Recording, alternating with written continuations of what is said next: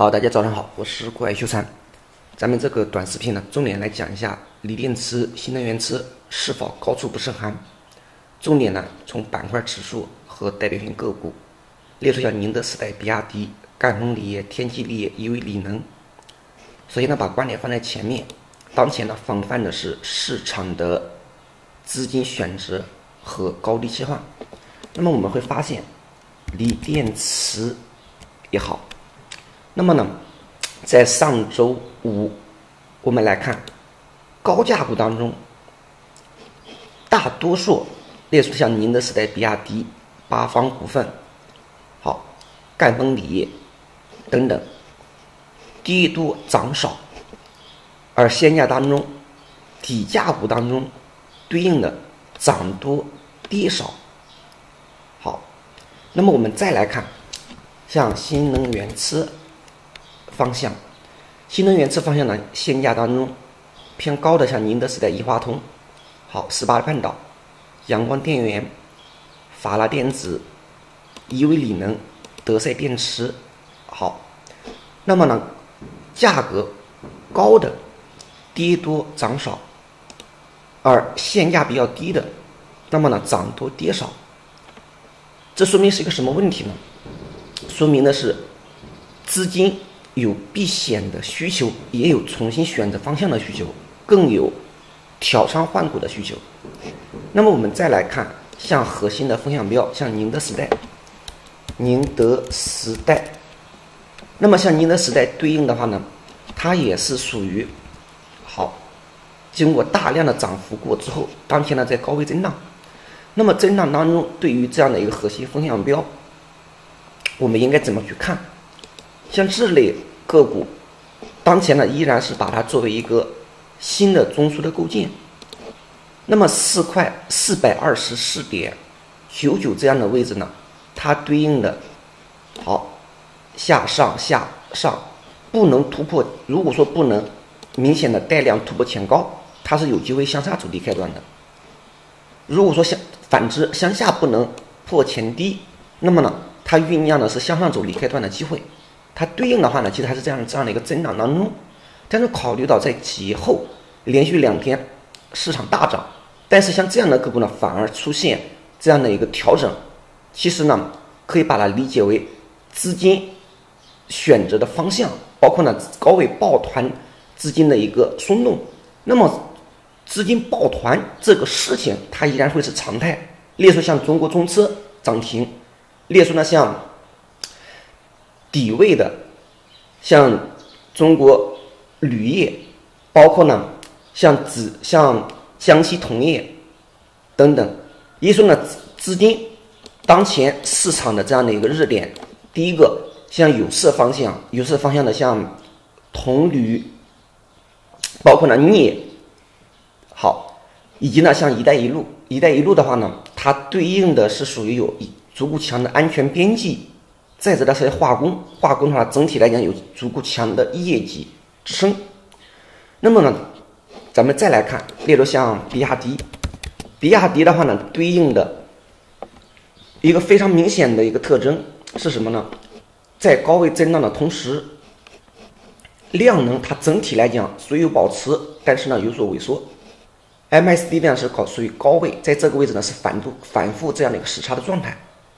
好。那么我们再来看，例如像赣锋锂业、赣锋锂业，那么呢，不管是像宁德时代也好像比亚迪、像赣锋锂业，它整体来讲还属于高位震荡的一个走法。那么高位震荡的话呢，那么像赣锋锂业对应的出现这样的高位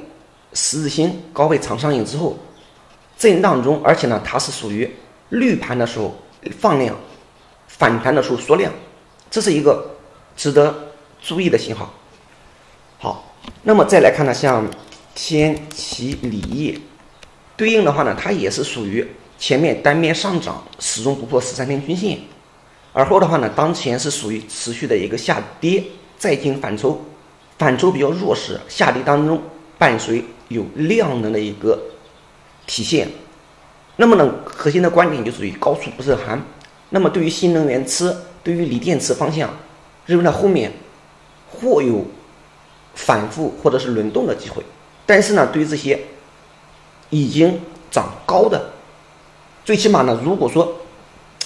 不管是比亚迪也好，宁德时代也好，像赣锋锂也好，天齐锂业也好，而且呢，像天齐锂业这样的个股呢，它本身业绩是属于还是亏损的。那么在这样的一个情况下呢，尤其是天齐锂业这样的个股，还是谨慎以防范风险作为主导。如果说什么时候伴随一根带量的光头阳线，然后呢五十三再次形成这样的金叉状态。那么呢，你用技术的角度进行跟踪和坚守，破了，那么呢，及时的离场。出现这种信号呢，你顶多去试盘。而且呢，像天齐锂业不建议大家去，不，个人呢是呃认为呢，它当前的价格和它基本面相比较来讲，它当前是属于风险的释放阶段。如果说反即便这个这是一个弱势反抽，反抽的话呢，不破前面高点，它很容易再给新低的。好。那么我们再来看，列出呢像宜为锂能、宜为锂能，那么像这样的个股呢，它也是处于高位震荡，尤其是出现这样的一个高位高开低走这样的大阴棒，伴随放量，而后的话呢，我们会发现红盘的时候量能缩，绿盘的时候呢伴随放量，这代表的是资金明显的在松动，所以说呢，嗯，再结合市场的特征。那么对于新能源车也好，对于锂电池方向也好，那么已经高高在上的，或者说呢已经出现这样的一个高位滞涨的，可以呢，嗯，以谨慎的态度来对待。哪怕同方向当中列出呢像锂电池或者是像新能源车同时叠加有色、叠加金属方向的位置不是特别高的，反而可以当成重点列出呢像中和太白。那么这样的个股的话呢，它是属于。从它的总业务来看，它是属于什么？像钛白粉，同时的话呢，它是有这样的一个啊，有这样的一个锂电池概念。那么像这样的个股呢，在首板的时候，咱们就重点进行点评。那么当前的话呢，冲高一波回撤，再进冲高。那么现在呢，它已经是积累了一定的涨幅，但是呢，咱们在重点点评之时，它对应的。它是属于底部长期的底部平台刚刚启动，上方再构建小的这样的一个中枢平台，再进行向上离开段。那么类似这样的个股，还是可以去进一步的挖掘。列出呢，像新能源车叠加什么呢？列出像我们的锂电池叠加有叠加呃有色金属的。列说在锂电池概念当中，我们从细分行业。细分行业里面呢，重点看这里面，重点找。好，这有了铜、铝、铅、锌、小金属。小金属里面列出像厦门钨业、盛屯矿业、洛阳钼业、中矿资源，好，格林美。那么像这样的，包括像铅锌，就是呢，像新能源车也好像锂电池也好，叠加有色方向的，然后根据它基本面和。技术面的这样的一个公正，好，列出呢像嘉源科技这样的业绩是预降的，预降的话呢，咱们放在其次，重点的话呢放在哎有业绩的体现，同时的话呢，南山铝业都已经走强，咱们在前面已经点评过，好，西藏珠峰业绩是下降的，好，西藏矿业